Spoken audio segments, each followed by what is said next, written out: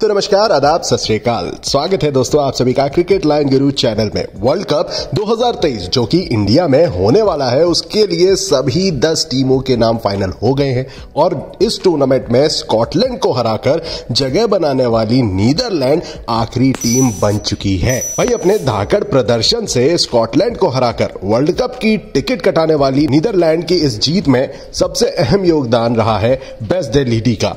जिन्होंने पहले पाँच विकेट चटकाए और फिर शतकीय पारी खेली। आईसीसी वर्ल्ड कप क्वालिफायर के सुपर सिक्स के आठवें मैच में नीदरलैंड ने स्कॉटलैंड को चार विकेट से हराया है। ऐसा पांचवी बार होगा जब डच टीम आईसीसी के इस टूर्नामेंट में एंट्री करेगी। भाई, स्कॉटलैंड ने तो नौ विकेट के नुकसान पर 277 रन का स्कोर खड़ा किया था, जिसके जवाब में नीदरलैंड्स ने फोर्टी थर्ड ओवर में ही जीत हासिल कर ली थी। अब यहाँ पर आती है सबसे खास बात। बेस्ट दलीदी जिनका ज़िक्र पहले भी किया गया था, भाई 10 ओवर में बावन रन देकर पाँच विकेट हासिल करते हैं और फिर 123 रन की वर्ल्ड क्लास पारी खेलते हैं। लेकिन ऐसा पहली बार नहीं हुआ है।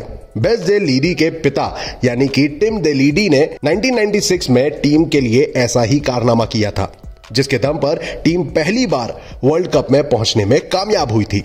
नीदरलैंड्स के लिए तो ये पांचवा मौका होगा जब टीम वनडे वर्ल्ड कप में खेलने उतरेगी। सबसे पहले टीम ने 1996 में वर्ल्ड कप खेला था। जब बेस्ट दिलीडी के पिता टिम दिलीडी ने टीम की तरफ़ से शानदार प्रदर्शन किया था। इसके बाद नीदरलैंड्स ने 2003, 2007 और 2011 में लगातार तीन बार क्वालिफाई किया था। पिछले दो वर्ल्ड कप में वो जगह बनाने में सक्सेसफुल नहीं हुए थे लेकिन क्या इस बार नीदरलैंड की टीम अक्टूबर और नवंबर में होने वाले वर्ल्ड कप में क्या बड़ी टीम्स की हार और जीत में अहम रोल प्ले करती नज़र आएगी? भाई इस बारे में आपका क्या ख्याल है? कमेंट्स में ज़रूर बताइएगा। और दोस्तों फाइनली अब जब दस टीमें आ चुकी हैं तो यहाँ पर आपके लिहाज से वो कौन सी चार टीमें होने वाली हैं जो कि सेमीफाइनल्स और फाइनल खेलती नज़र आ सकती है। जवाब ज़रूर दीजिएगा।